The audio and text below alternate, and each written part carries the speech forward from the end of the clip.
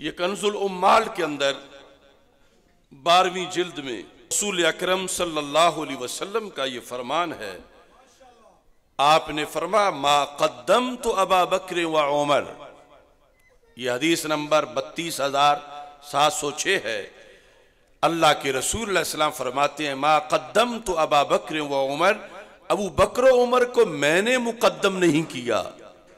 वला किन अल्लाह कद्दमा अल्लाह ने उनको मुकदम कर दिया है। इन अल्लाह के फैसले पर मैंने भी उनको मुकदम किया। अपने तौर पर मैंने उनको मुकद्दम नहीं किया। और फरमा वमन अरादा हुमा बेसुइन फ़ैनमा यूरीदोनी वाल इस्लाम। अब जो उनके खिलाफ बकबक करता है, फरमाया, वो मेरे खिलाफ करता है और पूरे इस्लाम के खिलाफ करता है। क्योंकि इनको अल्लाह ने मुकदम फरमाया है। और बुखारी मुस्लिम दोनों में यह हदीस है, जिसमें ये लफ्ज हैं। मुस्लिम की हदीस नंबर दो हज़ार तीन सौ सतासी है। हताशा सिद्दीका रदी अल्लाह तहा से मरवी है। कहती है, काल अली रसूल सल्लल्लाहु वसल्लम फ़ी मरादी उदली अबा बकर व अखा के, कि अल्लाह के रसूल सलाम ने अपने अयाम अलालत में, जो आखिरी दिन थे, फरमाया कि आयशा सिद्दीका अपने अब्बा जान अबू बकर सिद्दीक और अपने भाई अब्दुलरहमान को बुला के ले आओ।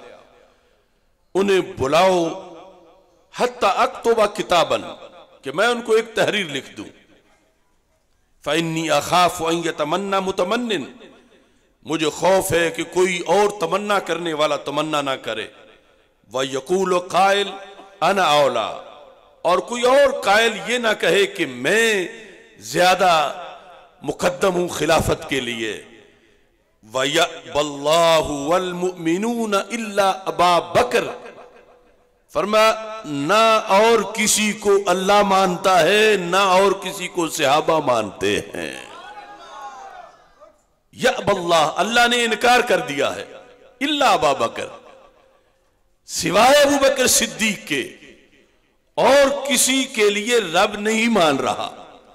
और न ही सारे सहाबा, न ही ये जो लोग ईमान में दाखिल हो चुके हैं, ये मानेंगे।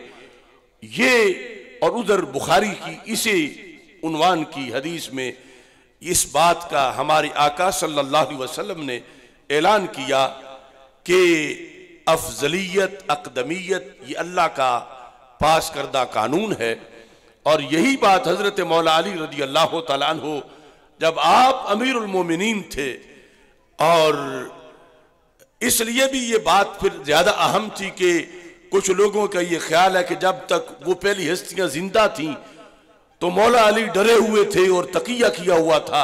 हालाँकि शेर खुदा के लिए ऐसी किसी चीज़ को मानना खुद उनकी तोहीन है। जब सब पहली हस्तियों का विशाल हो चुका था। और चौथे नंबर पर हज़रत अली रज़ी अल्लाह तु खिलाफत के मसनद पर थे, बसरा में आपका खिताब था। मजमा में से इबन कव्वा ने उठकर ये सवाल किया कि, अली, आपका नंबर पहला था, आप चौथे नंबर तक इंतज़ार क्यों करते रहे? तो आपने फरमाया कि, जो इस तरह कहता है, वो झूठ बोलता है। मुझसे कोई अहद नहीं था, ना मेरे नाम कोई वसीयत थी फरमाया लस तो मरीजा वाला गायबा। मैं उस वक्त ना बीमार था, ना मैं गैर हाजिर था। जब रसूल पाक सल्लल्लाहु अलैहि वसल्लम ने मुझे ही फरमाया था और हज़रत अब्बास जो चचा जान हैं, उन्हें फरमाया था, मुरु अबा बकरन फल यूसल बिन्नास। जाओ जाके वो बकर सिद्दीक को कहो, मेरे मुसल्ले पे जमात वो कराएँ। फरमा अगर मैं बीमार होता तो फिर भी था, कोई कहता कि चूँकि बीमार थे तो बारी दूसरे बंदे की आ गई। मुतबादल की, वरना तो जमात मौलारी ही कराते। और अगर मैं बीमार होता या गैर हाजिर होता, फिर तो कोई तुक बनता था, कोई इस तरह की बात करता। पर मैं मैं बीमार भी नहीं था, मैं गैर हाजिर भी नहीं था, मैं पास बैठा हुआ था।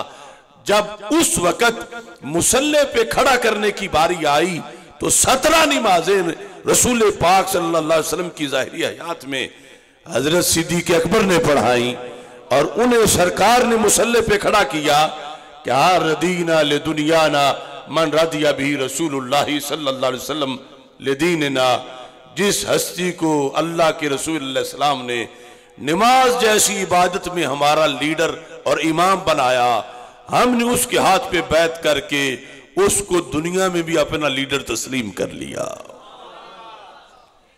इस बुनियाद पर फतेह रिजविया शरीफ जिल्द नंबर एक, इक्कीस में आला हज़रत फाजिल बरेलवी रहमत ने भी वो हदीस लिखी जो दूसरे मकाम पर कंजुल माल में है। इसमें ये वाज लफज लिखे, कहा कि आला हज़रत फाजिल बरेलवी उस हदीस को ज़िक्र करते हैं कि रसूल अक्रम नूर मुजस्म शफी मुआजम सल्लल्लाहु अलैहि वसल्लम ने अपनी तरफ़ से एक मौका पर यह फरमाया मा कदम तो अबा बकर व उमर वला किन्नल्लाह कदमा हुमा जो पहले मैंने हदीस पढ़ी, और साथ ये फरमाया कि सलासन युकद्दिमा का या अली। ए अली, मैंने अल्लाह से तीन बार कहा कि अली को मुकदम करो। एक बार इनकार हुआ, मैंने दूसरी बार कहा, फिर इनकार हुआ, मैंने तीसरी बार कहा, फिर इनकार हुआ सलासन।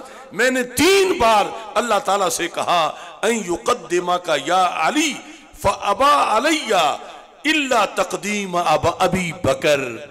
हर बार रब ने कहा कि पहला नंबर सिद्दीक अकबर का ही है। जब ये फैसले सारे हो चुके, बात अल्लाह की है, फरमान अल्लाह का है और फिर अल्लाह के रसूल सलाम का है। और उस पर फिर सारे सिहाबा का इजमा है। और तो और रहा, यानी मौला अली रदी अल्लाह तन हो खुद इस बात के कायल हैं अलम्बरदार हैं, कि ये फरमाया कि उन्हें अनसार और मुहाजरीन ने मुकदम नहीं किया, उन्हें अल्लाह ने मुकदम किया। और उस पर कुरान पढ़ा, फिर हदीस शरीफ तो ये हमारी सादत है हम अपनी जाति चॉइस की बुनियाद पर किसी का पहला नंबर नहीं मानते। हम अल्लाह के फरमान पर सिद्दीक अकबर का पहला नंबर मानते हैं। और फिर जो रसूल पाक वसल्लम का फरमान है, उस पर पहला नंबर मानते हैं। और फिर जो मौला अली का फरमान है, उस पर हम हज़रत सिद्दीक अकबर रदी अल्लाह तु का ये पहला नंबर तस्लीम करते हैं।